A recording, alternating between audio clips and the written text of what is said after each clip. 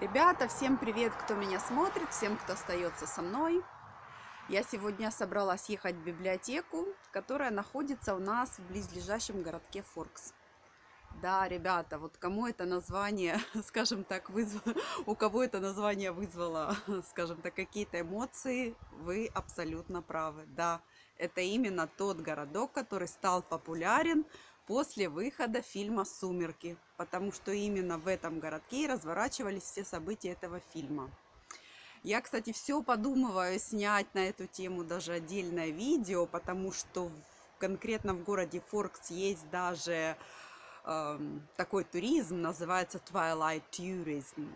Э, хочу узнать все подробности, что они показывают, сколько они хотят за туры, в чем, собственно-то, заключается этот тур. Ну, как-то все знаете, все проекты, проекты. В общем, пока руки не дошли.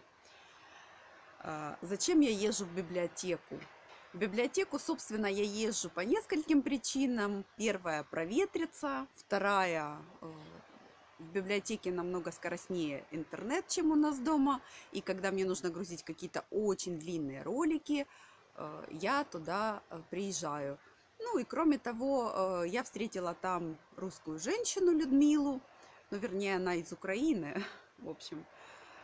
И для меня это повод пообщаться со своей соотечественницей. Вот. И, кстати, хотя это совсем не кстати, вот у нас э, автобус стоит 1 доллар. Хочу показать вот такой доллар. Видите, он везде надорванный, страшный, затасканный. Мне вот такой доллар дали э, на сдачу в магазине я у мужа прихожу, говорю, что это, вот что делать. То есть у нас на Украине, если тебе такие деньги дали, это все, это выбросить. Никто не примет. Я, кстати, делала ролик на эту тему, как мне в обменке выдали 5 долларов, э, ну, которые были не получше, кстати, чем эти. И потом у меня их не хотели брать или хотели брать там за там, две трети стоимости купюры. Говорили, старая купюра, мы такую по полной стоимости у вас не возьмем. Так вот здесь в Америке, ребята, деньги есть деньги. И вот сейчас я этот один доллар э, заплачу в автобусе и без проблем. Как мне говорит муж, в Америке деньги э, это деньги. И в каком они состоянии вообще не важно. И какого года выпуска тоже.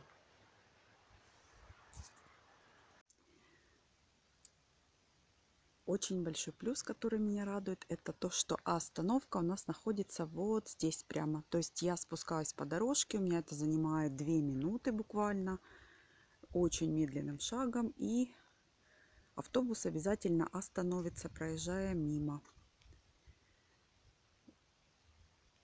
Кроме того, как я уже говорила, автобусы здесь ходят точно по расписанию, ну там плюс-минус пара минут. И каждый раз Каждый раз, когда он приходит по расписанию, я радуюсь несказанно, потому что вспоминаю, как у нас ходили автобусы э, в Украине, и, честно говоря, это постоянно стресс. Помню, я жила на поселке Жуковского, но кто в Харькове живет, тот знает, э, где это, и работала на Советской. Вот помню, на Советской стоишь на остановке, чтобы домой уехать а, а водитель, например, подъезжает к остановке, ты там уже 20 минут простоял, замерз под дождем, э, или какой-нибудь еще снег идет, грязно, холодно, ветрено, ты уже замерз, как этот бобик. Водитель подъезжает, видит на остановке, не знаю, два человека или три, думает, да, нафиг оно мне надо. Вот, я уже свой план заработал, поеду домой. И вот он разворачивается и проезжает мимо тебя. А ты потом с пересадками добираешься домой. Бывает, один водитель тоже не приехал, то есть ты простоял 20 минут, маршрутки нет, стоишь следующие 20 минут, ждешь маршрутку. Вот, и так можно вот 40 минут простоять. И после этого водитель тоже может мимо тебя проехать и, скажем так, уехать в гараж. Поэтому здесь, конечно, каждый раз, когда автобус приезжает вовремя, я вспоминаю нашу Украину. Просто какой-то нереальный туман сегодня. Вот как будто все, я не знаю, в дыму плотном и густом. У нас э, несколько дней назад, там может неделю назад были э, пожары со стороны Канады. Так тоже вот стоял такой плотный туман какой-то вот над океаном. Я говорю мужу, смотри, какой туман. Говорит, это не туман, это смог, там какие-то пожары в Канаде. Вот. Но сегодня это нечто, не знаю, я даже не припоминаю, чтобы зимой вот такая плотность была, что я просто даже не вижу пляжа через дорогу. Итак, вот наконец-то я и в Форксе, но настроение было немножко подпорчено. И испортилось оно потому, что в окно автобуса я увидела оленя, сбитого автомобилем. И, естественно, э, бедное животное в небольшой луже крови произвело на меня, честно говоря, удручающее впечатление. На самом деле в штате Вашингтон животные очень-очень часто перебегают дорогу. Это могут быть ракуны, белки, бурундуки, даже птички, выпархивающие из леса. Ну и, конечно же, это олени. Ох, как говорит мой муж, this is really sad, but this is alive. Oh well, what we can do. Так, ну а наше видео на самом деле будет на тему библиотеки Америки. Для чего они вообще, что же там в библиотеках, кто туда ходит и э, что делают там американцы. Специально повернула камеру на то, чтобы вы посмотрели окрестности этого небольшого городка Форкс. Будет достаточно шумно, потому что я буду ходить вдоль проезжей части. Но я думаю, намного интереснее, чем любоваться э, мною. Итак, лично я в последний раз была в библиотеке, когда была студенткой и писала диплом. Но, естественно, когда обучение было закончено и Э, я перестала ходить в библиотеку, поскольку в этом отпал вся, э, отпала всякая необходимость. И э, вернулась я к пользованию библиотекой снова уже здесь, в США. Я предвижу удивленный вопрос наших соотечественников. Зачем ходить в библиотеку, если сейчас у нас раз, развитый и компьютеризированный век – все есть в просторах интернета, любая информация, книга, фильм, который можно без проблем скачать и посмотреть. Э, это так, но не совсем. Хочу заметить, что Америка всеми способами борется с соблюдением авторских прав. И здесь вам достаточно затруднительно будет найти какую-либо известную книгу, чтобы просто ее скачать бесплатно, а тем более посмотреть э, какой-либо э, фильм лицензионный, я имею в виду. Даже известные передачи, супер популярные, э, вы можете нарыть только какие-то кусочки, там три, трехминутные эпизоды, ну, и если вы нашли 15-минутный эпизод, считайте, что вам повезло. Среднестатистический американец будет глубоко шокирован, узнав, что вы уже посмотрели фильм, который только-только еще идет в кинотеатрах, но вы уже в курсе всех его событий. В общем, здесь это так не работает. Если вы хотите посмотреть фильм, тем более какую-то новинку синематографа, вы, ее, вы должны или заплатить э, деньги за просмотр, или купить диск, или же ожидать выхода этого фильма и смотреть его по телевизору. Но, естественно, э, все это будет сопровождаться достаточно большим количеством рекламы, и удовольствие превратится, скорее всего, в разочарование от просмотра. У нас же на Украине это ни для кого не секрет. Естественно, вовсю процветает так называемое пиратство. Поэтому нам э, вообще без проблем мы находим абсолютно все, что нам нужно, скачиваем все, что нам нужно и, собственно, э, пользуемся всеми благами, за которые американцы очень часто должны платить. Мой муж, кстати, как большой почитатель э, просмотра спортканала, соответственно, соревнований по лыжному спорту, посвятил очень большое количество времени поиска в интернете данных программ и был удивлен в очередной раз, когда на просторах YouTube он нашел подобного, э, подобный канал, который, по-моему, назывался «Спорт Культ», и он демонстрировал все возможные интересные ему лыжные соревнования во всех интересных для него городах. И, конечно же, это был канал «Русский». На что мой муж мне сказал, представляешь, в Америке я вообще такого не могу найти, а у вас это вообще без проблем. В общем, он подписался и был счастлив до невозможности.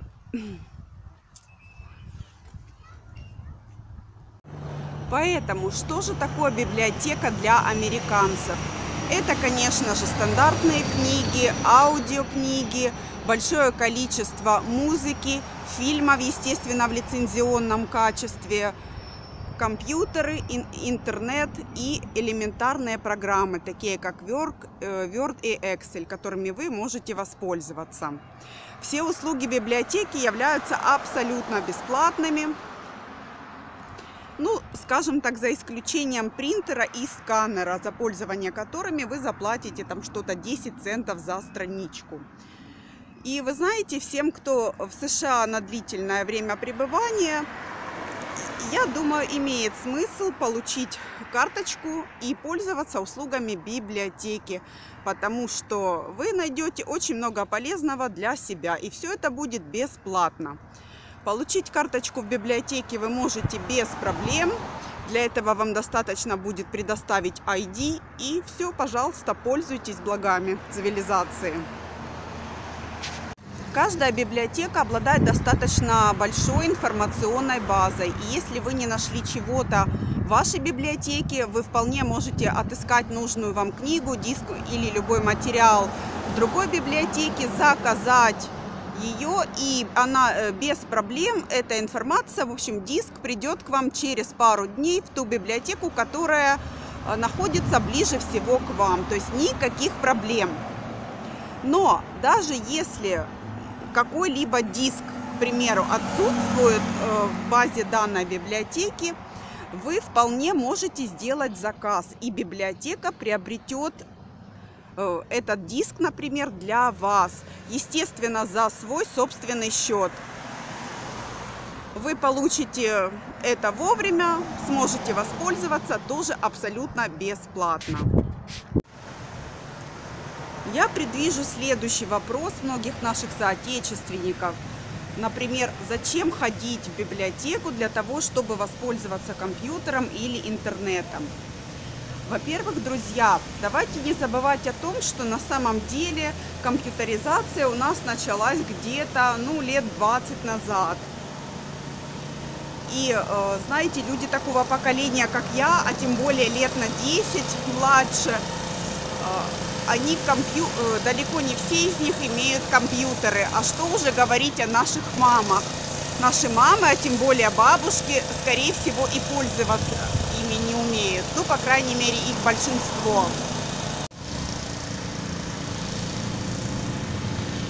Поэтому в данном случае библиотека это прекрасное место э, воспользоваться компьютером и всеми необходимыми программами. Кстати, э, не будем забывать о многодетных семьях. если в семье, скажем так, 10 человек, как, например, здесь мы живем близко к индейским резервациям, и, соответственно, знаете, на каждого члена семьи не накупишься по компьютеру или ноутбуку, то, естественно, ребят, э, детишки, они с удовольствием прибегают в библиотеку, чтобы посидеть за компьютером, зайти в интернет, воспользоваться социальными сетями, поиграть в компьютерные игры, сделать домашние задания и так далее. Так, небольшое отвлечение.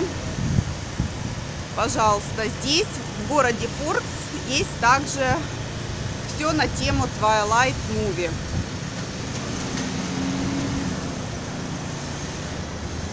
Также любят в библиотеку ходить люди пожилого возраста, то, что здесь называется сеньор. эти люди, скажем так, старой формации, приходят с удовольствием посидеть в библиотеку, полистать книжечки, журнальчики и просто провести время в приятном месте. Потому что библиотеки это в основном всегда идеальная чистота, покой, тишина и, естественно, все удобства, а также определенный круг общения.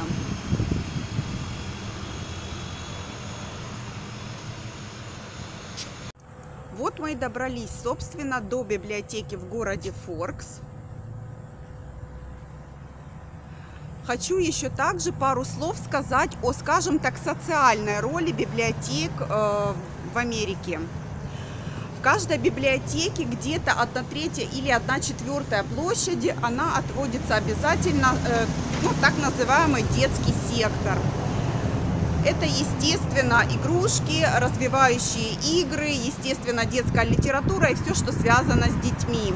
Очень часто мамочки могут привести сюда детей, которым есть чем заняться, они здесь играются, в то время как э, мамочки могут что-то подобрать для себя.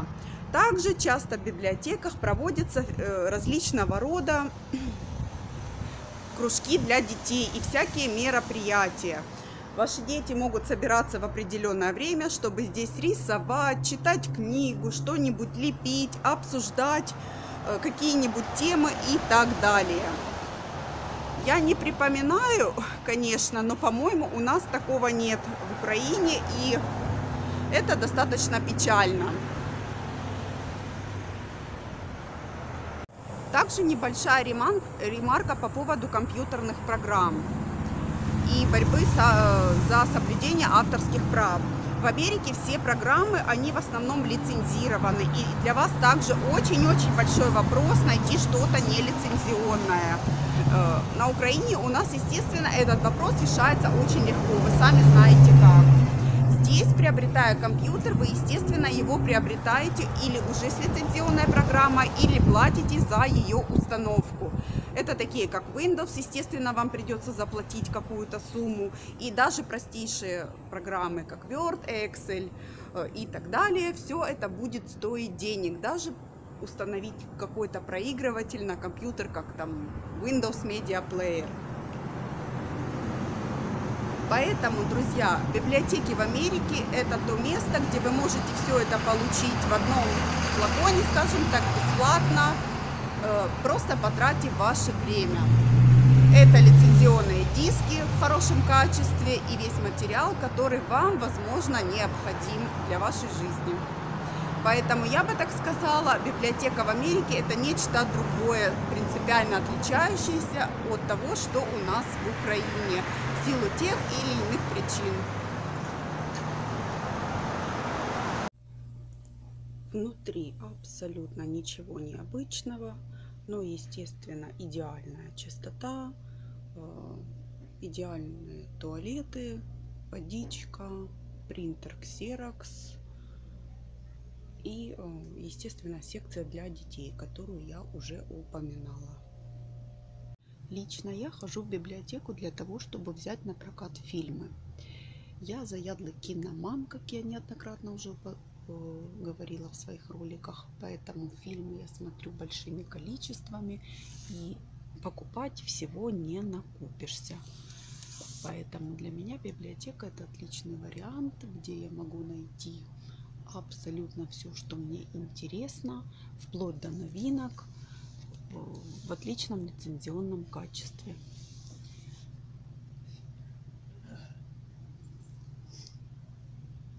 Естественно, помимо удовольствия от просмотра фильмов, я их использую для дополнительного обучения английскому языку. Смотрю я их всех на английском с английскими субтитрами, что мне помогает продвигаться дальше.